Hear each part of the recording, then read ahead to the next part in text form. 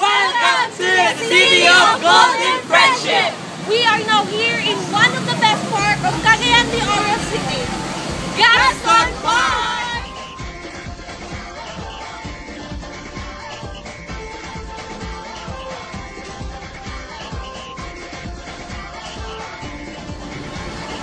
So now we are here in the oldest church of Cagayan de Oro, the cathedral.